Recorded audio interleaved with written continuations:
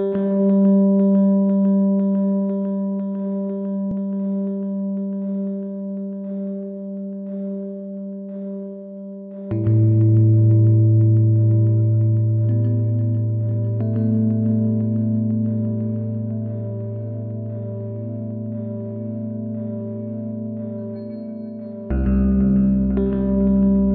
partir de ese momento nosotros entramos a una nueva etapa de represión y esto lo decimos en el aspecto porque ha mutado sus conductas de cómo asediar, perseguir a las personas que no son afines al gobierno.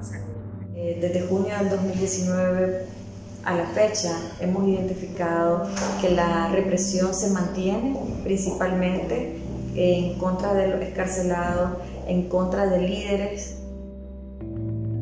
hemos encontrado que las violaciones a los derechos humanos continúan a través del hostigamiento a las personas excarceladas, la limitación a sus derechos, eh, a la salud, a la educación, al trabajo, no solo para ellos, sino también para, para sus familiares.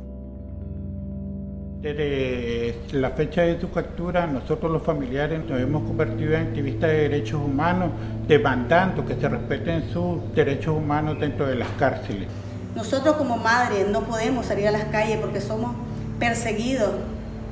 por la, policía, no podemos salir, a, a, pedir la libertad de nuestros hijos. Y nosotros exigimos la libertad, peor en estos tiempos de pandemia que está a nivel mundial. La crisis continúa, la limitación a la libertad de expresión y de movilización siguen siendo parte de las violaciones, principalmente a los activistas y a defensores de derechos humanos. También ha existido un aumento en los asesinatos selectivos, concentrados mayoritariamente en las zonas rurales, así como la criminalización de la protesta social, la criminalización de los líderes que han surgido a raíz de abril 2018